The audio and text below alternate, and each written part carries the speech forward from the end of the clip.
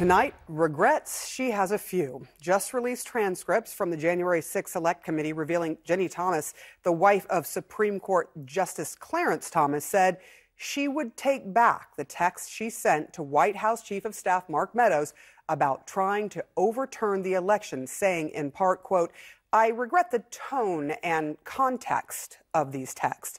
Congressman Schiff then asking, quote, and what in particular disturbs you in hindsight about the content of the text? To which she replied, well, you know, I would take them all back if I could today. So I'm not comfortable with any of them being, I wish I could have rewritten them. I wish I didn't send them.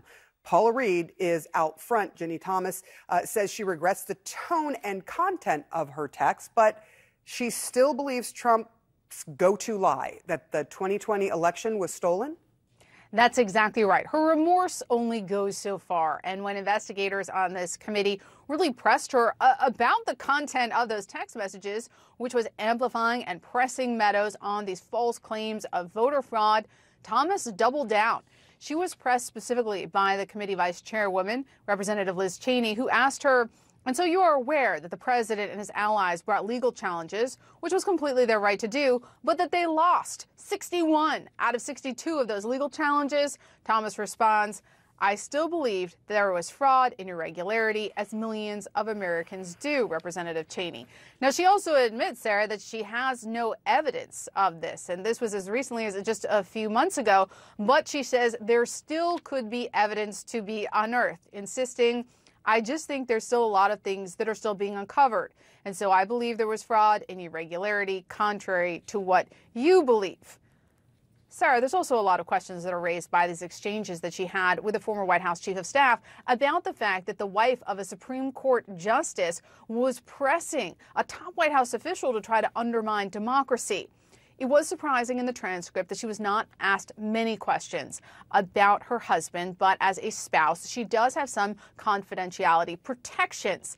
But she did disclose that when she referred in her exchange with Meadows to talking about all this with her best friend, that she was likely referring to her husband, though she insists her husband didn't know she was texting with Meadows until he read about it in the press. Seems like there's more questions to answer there. Thank you so much, Paula Reid. Out front now, John Dean, former Nixon White House counsel. Uh, John, thank you so much for being here. I always enjoy talking to you. Let's start with Ginni Thomas. Uh, she says she regrets, as you heard, sending Mark Meadows those texts, but on multiple occasions she defends. Um, she, she still defends her beliefs that she believes that the 2020 election was stolen, which it wasn't. Um, can she have it both ways here? Well, when I went through her transcript, I had the impression that she was very evasive. She wasn't remorseful uh, in general about the, uh, the, the fact that she'd made these comments and sent these texts out. She was regretful that they'd gotten they'd been released and became uh, public, and she accused the committee of leaking them basically just to embarrass her uh, which was not the case. But I, I think she, uh, she really was uncomfortable throughout her testimony. Her, her attorney testified a lot for her, which mm-hmm. I've never seen uh, a uh, chair let happen as often as it did in this uh, deposition. So it was, it was an, it's an odd collection in this deposition. Um, Paula just mentioned this that the Ginni Thomas also testified that the best friend she referenced in the text exchange with Mark Meadows was indeed her husband, Clarence Thomas, who, of course, is a Supreme Court justice. Um, what did they discuss? Thomas says, quote, I wish I could remember, but I have no memory of the specifics. My husband often administers, administers spousal support to the wife that's upset. So I assume that's what it was. No specific memory here. Seems to remember some things, not others.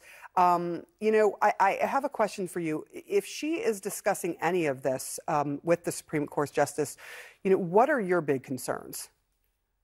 Well, she claimed at the outset of her testimony in a brief little statement there was an ironclad rule in their house that they never talked about each other's business, that she was on a political lane or in a political lane, her husband was in the legal lane, and those lanes didn't cross. It was pretty hard to believe as, as the uh, testimony unrolled and what we know about their relationship that that's possible. But you know, anything's possible, I suppose.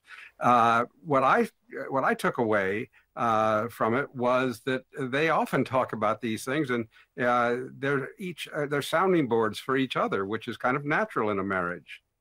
You know, I know you believe that Mark Meadows is target number two after, of course, then President Donald Trump. Donald Trump is uh, right now the only Republican running for the presidency. Is any of this uh, new revelations from these transcripts enough to loosen Donald Trump's grip on the Republican Party, you think? I doubt it. Not his base. His base is going to stay where they are. They don't care about the facts. They often ignore them. Uh, they certainly don't read uh, 800 page reports about their president that are highly critical of what he did and examine it in some detail. So I, I think he's still got a very good shot at winning the nomination.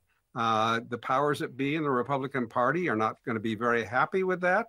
But again, they have a base that uh, is very pro Trump. So we'll have to see how this story is going to continue to unfold over the coming months. You were there uh, when Nixon went through all that he went through, and it certainly was not the same, was it? No, this is uh, this is Watergate on steroids. Uh, it really is, and it, it, it is unrelenting. We're we're getting information from multiple fire hoses that we have to dip into each day and try to get a grasp of what it is. Hopefully, there'll be a gap here where we can take it all in.